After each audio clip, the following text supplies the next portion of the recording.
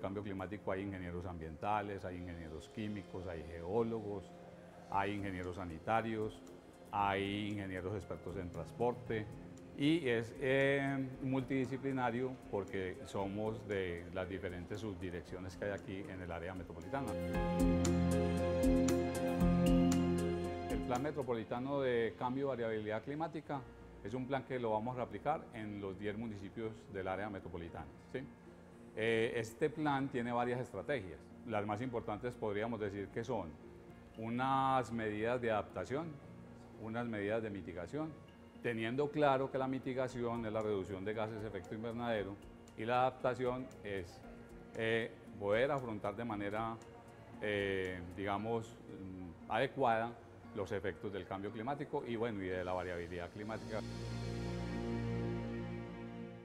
Nos dimos cuenta que también teníamos que diseñar una línea, por ejemplo, de educación, sensibilización y formación a públicos objetivos. También tenemos una línea de ciencia, tecnología e innovación y por eso es que tenemos, por ejemplo, un sistema robusto que se llama el CIATA, con todos los equipos que tiene y con toda la tecnología que tiene este sistema, podemos predecir eh, aguaceros, eh, sequías, etcétera, para poder formular el plan de cambio de variabilidad climática de la región metropolitana lo que primero hicimos fue un inventario de gases de efecto invernadero porque eso lo que permite es fijar el foco en los sectores más importantes.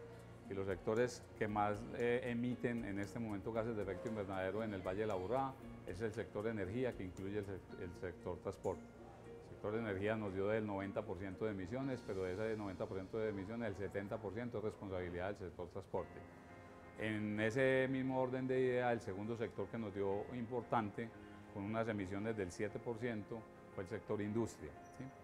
Y, el otro sector fue el sector de residuos. Y por último el sector AFOLU, que AFOLU es eh, lo que es agrícola, lo que es forestal y lo que es pecuario. Lo más importante eh, es que el grupo eh, se planteó una meta con, con lo que nos entreguen las universidades. Vamos a empezar ya a la segunda fase que nos planteamos, que es precisamente poder poner todas esas medidas de adaptación, todas esas medidas de, mitigación con la ciencia y la tecnología, con la educación y con la parte financiera, eh, para que los actores entonces empiecen ya a tomar esas medidas, porque es que esto no da espera.